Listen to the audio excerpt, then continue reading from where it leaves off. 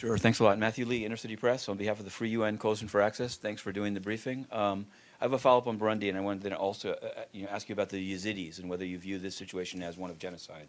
But in, in Burundi, there's some some are saying that that I mean, obviously under under Arusha, there was a very delicate balance sought in terms of the government.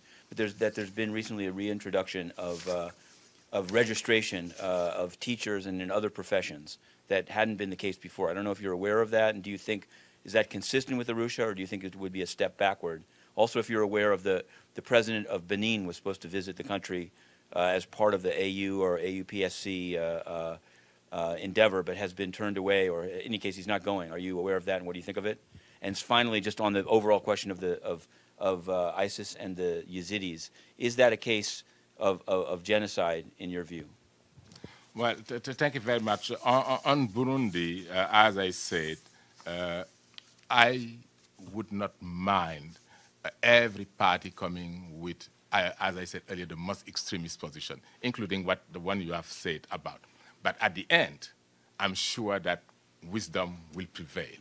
And uh, this uh, great achievement, which was made in Arusha, uh, should remain, to my view, uh, intact. We should not touch on it. I mean, that is extremely important uh, to make sure that uh, nobody is excluded. Uh, at the end of the day, we have seen 10 years of Burundi where the Tutsis and the Hutus have been sharing the power. And uh, what is extremely important is also to make sure that uh, all Burundians have access uh, to uh, economic power, not only political power, make sure that they have uh, access to employment, have access, uh, because we tend to forget that when we speak about human rights, it's not only uh, civil and political. We have to make sure that the economic and social rights are also uh, respected. And that is one of the reasons why I, I hope that uh, action will be taken and that we will make every effort to stop the violence. And in that regard, I think accountability also is a key aspect which we should not uh, lose sight. Uh, we have uh, seen the African Union, which has adopted a very strong communique, uh, and uh, human rights monitors will be deployed. I mean, uh, the small office being put in place is most welcome, but that alone will not solve the problem in Burundi. We need to pay more attention to the issue of accountability. These crimes which have been committed, from the killing of uh, uh, Alphonse, who was really a close ally to President Nkurunziza, followed by the killing of former General. This has, we have to identify the perpetrators of those crimes, bring them to, to justice. Now concerning the Yazidi community, uh, I, I uh, spent a day with uh, members of that community, uh, including uh, the spiritual leader, Baba Sheikh. Uh, I visited the temple in Lalish. I visited the Khanke camp, where I interviewed many people were victim of uh, abduction by ISIS. I'm particularly referring to those young girls uh, of 15 years who told me stories which were, I would say, stories of horror. Uh, they were raped. Uh, they were subjected to any form of treatment. Uh, but what is extremely important also is that uh, when I left Erbil, and traveled to Jordan, the Grand Mufti, Mufti of Jordan issued a fatwa uh, showing clearly that the use of this, uh, sex, this woman as uh, a sexual slave is illegal and it is anti-Islamic.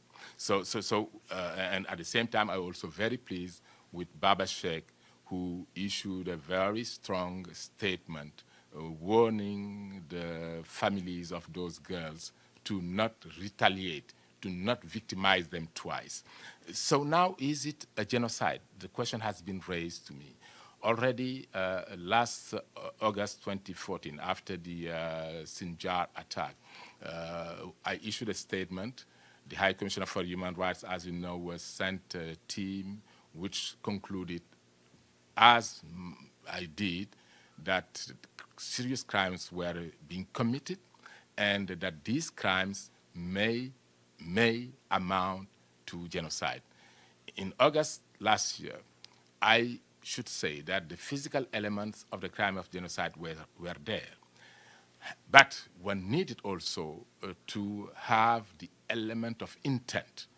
But what I have uh, collected during my visit, uh, I can say that uh, it is likely, it is likely that uh, genocide against the Yazidi community uh, may have been committed. Uh, and I have also took on me the responsibility to help them uh, to uh, document that case and to make sure that the crimes which have been committed will be brought to justice. Uh, unfortunately, for the time being, Iraq doesn't have, have not yet domesticated the international crime provided in the Rome Treaty establishing the ICC, uh, which means that one needs to find another avenue.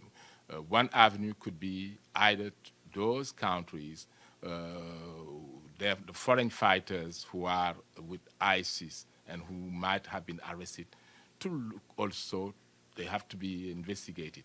But we should not exclude also the possibility of getting the case to be referred to the ICC that requires a Security Council uh, resolution. But on the other hand, nothing prevents also the Iraqi government uh, to accept the jurisdiction of the ICC and uh, ask for the case of uh, the Yazidi to be looked by the ICC prosecutor.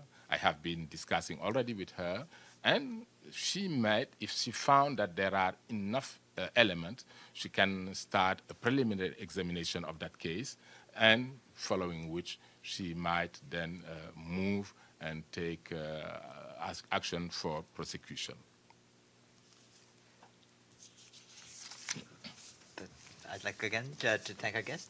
thank you very much, Mr. Dieng. Welcome. Thank you all. Have, have a good afternoon. Thanks.